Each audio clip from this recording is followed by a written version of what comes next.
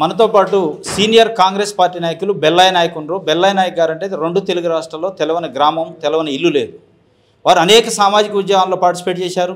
తర్వాత కాంగ్రెస్ పార్టీ కోసం అహర్నిశలు కష్టపడుతున్నారు.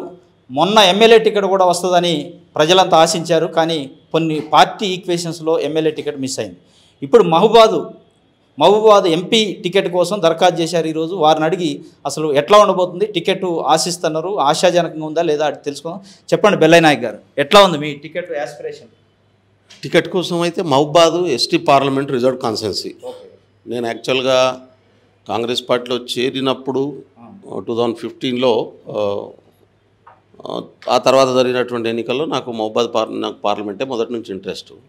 సరే లాస్ట్ టైము ఇవ్వలేదు. బలరాం గారికి ఇచ్చారు. ఆయన ఓడిపోవడం జరిగింది. ఆయన అంతకుముందు కూడా ఒకసారి ఓడిపోవడం జరిగింది. తర్వాత ఎమ్మెల్యే నిలబడ్డాడు. ఎమ్మెల్యే కూడా ఓడిపోవడం జరిగింది.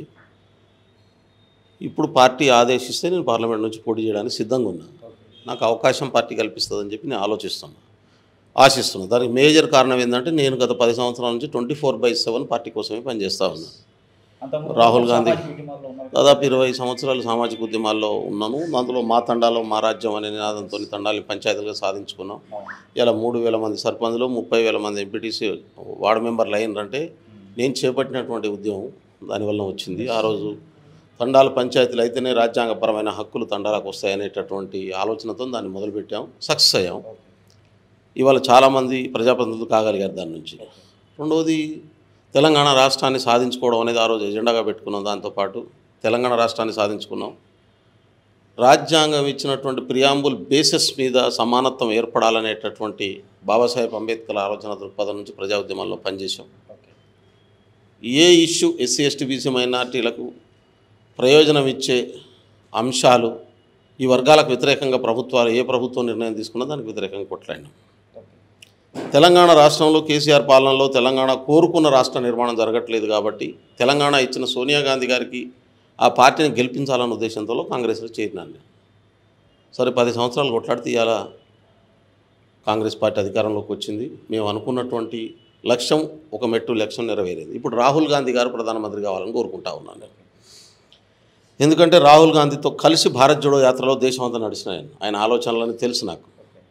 కాబట్టి దేశంలో ఉన్నటువంటి మొత్తం ట్రైబల్ కమ్యూనిటీస్ అన్ని దాదాపు ఏడు వందల యాభై ట్రైబల్ కమ్యూనిటీస్ ఉన్నాయి అన్నింటినీ కూడా కాంగ్రెస్ వైపు తీసుకురావడం కోసం నా పాత్ర పోషించాలనుకుంటా ఉన్నాను నేను. అయితే ఒక ఒక సంఘం బాధ్యుడుగా ఆదివాసీ కాంగ్రెస్కి ఇప్పుడు నేషనల్ వైస్ చైర్మన్గా ఉన్నా ఈ డిపార్ట్మెంట్ను అన్ని రాష్ట్రాల్లో నేనే ఎస్టాబ్లిష్ చేసిన. అంతకంటే ముందు బాగా వీక్ ఉండే. దేశం అంతా ఎస్టాబ్లిష్ చేసిన. మొన్న ఎన్నికల కంటే ముందు ఎనిమిది నెలల ముందు పిసిసి అధ్యక్షులు రేవంత్ రెడ్డి గారు మీరు ఖచ్చితంగా ఇక్కడ కూడా బాధ్యత తీసుకొని మొత్తం ట్రైబల్స్ని అందరినీ కాంగ్రెస్ వైపు మళ్ళించాలనే బాధ్యత నాకు ఇచ్చారు. అధిష్టానం కూడా నాకు పంపించింది. అందులో మీరు చూడొచ్చు నిన్న ఫలితాల్లో నైంటీ ఎబో పర్సంటేజ్ ట్రైబల్ ఓట్లు కాంగ్రెస్కి వచ్చినాయి. అందులో సక్సెస్ అయినా. మీరు ఏ ఏ కాన్సెన్స్ తీసుకున్నా ట్రైబల్స్ అంతా ఇది ఈసారి కాంగ్రెస్కి ఇచ్చారు.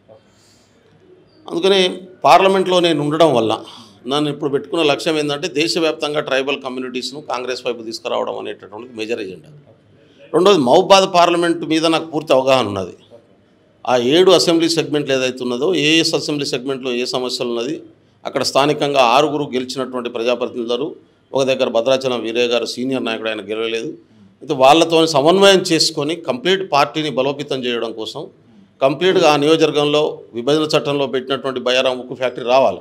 పది సంవత్సరాలుగా బీఆర్ఎస్ పార్టీకి సంబంధించిన ఒకరి తర్వాత ఒకరు ఇద్దరు ఎంపీలు అయినారు. కానీ ఎవరు ప్రస్తావించడం సందర్భం లేదు. దానికోసం కొట్లాడిన పరిస్థితి లేదు. నేను తీసుకురాగలను. ఒక లక్ష మందికి ఉపాధి దొరికేటటువంటి అవకాశం ఉంటుంది దానికి అఫిలేటెడ్ ఇండస్ట్రీస్ని డెవలప్ చేయగలను. ప్రతి కాన్సెన్సీకి ఐదు ఆ ఏడు కాన్సెన్సీలో ఆడు రిజర్వ్ కాన్సెన్సీస్ ఉన్నాయి ST reserve constituency scheduled area ఉంది మేజర్ షెడ్యూల్డ్ ఏరియా ఉంది. కాబట్టి ఈ షెడ్యూల్డ్ ఏరియాలో ఉన్నటువంటి ట్రైబల్ కాన్సెన్సీస్ అన్నిట్లో కూడా ఏ గవర్నమెంట్ ఉన్నా వందల కోట్ల బడ్జెట్ తీయగలిగినటువంటి వేల కోట్ల బడ్జెట్ తీయగలిగినటువంటి కెపాసిటీ నాకు ఉన్నది అది నేను మాత్రమే చేయగలిగినటువంటి పని. ఎక్కడి నుంచి వస్తాయి ఎట్లొస్తాయి ఆ రూట్స్ అని నాకు తెలుసు. ఎందుకంటే ఒక ప్రజాసంఘంగా పనిచేయడం వల్ల విస్తృతమైనటువంటి రాజ్యాంగపరమైనటువంటి ఆదివాసీ హక్కుల పట్ల ఒక స్పష్టత ఉండడం వల్ల మీకు ఫిఫ్త్ షెడ్యూల్ ఏరియాలో ఉన్నటువంటి రైట్స్ ఏమున్నాయి దాన్ని ఎట్లా ఇంప్లిమెంట్ చేయించాలి దానికి కావాల్సిన నిర్మాణాలు ఏంటి రాష్ట్ర ప్రభుత్వం నుంచి ఏం తెచ్చుకోవాలి కేంద్ర ప్రభుత్వం నుంచి ఏం తెచ్చుకోవాలి ఇవన్నీ కూడా ట్రైబల్ సప్లాన్కు ఉన్నటువంటి కెపాసిటీస్ ఏంటున్నాయి దాన్ని ఎట్లా ఇంప్లిమెంట్ చేయించాలనేటటువంటి విషయంలో నాకు పూర్తి అవగాహన ఉంది. నేను ఎమ్మెల్యే కావచ్చు కాక ఇప్పటిదాకా కాకపోవచ్చు కానీ ఉద్యమాల్లో పనిచేయడం వల్ల అదంతా తెలుసుకొని ఇంప్లిమెంట్ చేయించగలుగుతాం. కాబట్టి నేను ఎంపీగా పోవడం వల్ల ఆ ప్రాంతం అంతా కూడా ఒక సమగ్రమైనటువంటి అభివృద్ధి చెందేటటువంటి అవకాశం ఉంది. దానికి స్థానికంగా ఉన్న ప్రజాప్రతినిధులతో సమన్వయంతో పనిచేయగలుగుతాను. పార్టీకి కూడా లాభం అవుతుంది నాట్ ఓన్లీ కాన్స్టిట్యున్సీ దేశవ్యాప్తంగా ట్రైబల్స్ను కాంగ్రెస్ వైపు తీసుకురావడానికి ఉపయోగపడుతుంది. ఇంకోటి ప్రధానంగా మీరు మూడు వేల తండాలు పంచాయతీలని మీ యొక్క ఉద్యమం ఫలితంగానే మీరు పేగులు తెగేదాకా ఉద్యమంలో కొట్లాడారు తెలంగాణ ఉద్యమంలో నియంత పాలన పోవాలని గత పది సంవత్సరాలుగా మీరు కొట్లాడారు. ఆ కొట్లాట అనేది గల్లీ నుంచి ఢిల్లీ దాకా తెలుసు. ఎందుకు కాంగ్రెస్ పార్టీ మిమ్మల్ని గుర్తించట్లేదు? నాకు ఎందుకు కాంగ్రెస్ పార్టీ గుర్తించట్లేదు? గుర్తించింది కాబట్టి అనుకున్నారు. అంటే నాకు అంతకంటే గొప్ప పొజిషన్ ఇస్తారేమో. ఇప్పుడు నాకు నేషనల్ కాంగ్రెస్ పార్టీ ఎస్టీ విభాగానికి చైర్మన్ తీసుకోమని చెప్పారు రాహుల్ గాంధీ గారు నాకు. నాకు అప్పుడు కొత్తగా చేరిన క్రమంలో నాకు కాంగ్రెస్ పార్టీ నిర్మాణము కాంగ్రెస్ పార్టీ పని విధానం తెలియదు. నేనేం చెప్పినా అంటే ఎవరైనా సీనియర్ని పెట్టండి ఆయనకి అండర్లో నన్ను వైస్ చైర్మన్గా పెట్టండి అప్పుడు నేను పని నేర్చుకుంటా అని చెప్పాను. నేనే కోరుకున్నా. ఎందుకు ఈ మాట చెప్పానంటే నాకు కాంగ్రెస్ పార్టీ పని విధానం తెలియకుండా ఆడికి పోయి ఫోల్ కావడం నాకు ఇష్టం ఉండదు. నేను ఏదైనా పని చేసినంటే పర్ఫెక్ట్గా సక్సెస్ కావాలి. కాబట్టి కిషోర్ చంద్రదేవ్ అనేటటువంటి ఒక గొప్ప నాయకుడు. ఆయన నా ఆరు చాలా ఐదారు సార్లు ఎంపీ అయినోడు కేంద్ర మంత్రిగా పనిచేసినోడు. ఆయనను పెట్టడం వల్ల ఆయన నాకు కాంగ్రెస్ పార్టీ పని విధానం పట్ల ఒక స్పష్టమైన అవగాహన నేర్పించాడు ఆయన చైర్మన్ అనే పేరుకు కానీ నేను వైస్ చైర్మన్గా దేశం అంతా నన్నే తిప్పిండు ఆయన. దాంతో నాకు కూడా పని ఈజీ అయింది. చైర్మన్ ఎంకరేజ్ చేస్తున్నప్పుడు రాహుల్ గాంధీ గారికి నేను అది చెప్పడం రాహుల్ గాంధీ గారు అది ఎంకరేజ్ చేయడం దాంతో నాకు ఈజీ అయింది. అంతకుముందు కిషోర్ మా కొత్త కమిటీ వేయకముందు చాలా సీనియర్ నాయకులు దీనికి బాధ్యత తీసుకొని పనిచేశారు. కానీ నిర్మాణం ఎస్టాబ్లిష్ కాలే. మీరు ఇవాళ ఏ రాష్ట్రానికన్నా పోయండి. కాంగ్రెస్ పార్టీ ఎస్టీ డిపార్ట్మెంట్ ఏర్పడుతుంది ఏర్పడ్డది కొప్పుల రాజు గారు పూర్తిగా సహకరించినటువంటి పరిస్థితి. కొప్పుల రాజు గారు ఎప్పుడైతే దానికి ఇంకా కోఆర్డినేటర్కి వచ్చారో ఇప్పుడు ఎస్సీ ఎస్టీ బీసీ మైనారిటీ ఈ నాలుగు డిపార్ట్మెంట్లు దేశంలో ఉన్నటువంటి అన్ని రాష్ట్రాల్లో ఎస్టాబ్లిష్ చేయించే పని రాజుగారు బాధ్యత తీసుకొని చేపిస్తూ ఉన్నారు. దాంతో ఏమైందంటే అంటే పైన నాయకత్వం పూర్తిగా సహకరిస్తుంది. ఇప్పుడు నేను ఎంత ప్రజాసంఘం ఉద్యమ నాయకుడిగా ఉన్నప్పటికీ ఇవాళ దేశవ్యాప్తంగా నాకు ఒక గుర్తింపు గౌరవం వచ్చిందంటే కాంగ్రెస్ పార్టీ వల్ల వచ్చింది.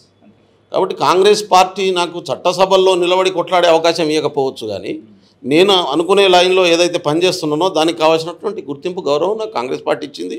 మొన్న ఎన్నికల్లో కూడా ఇక్కడ అడిషనల్ ఛార్జ్ చైర్మన్గా పంపిస్తే నేను పనిచేయగలిగినటువంటి పరిస్థితి ఉంది.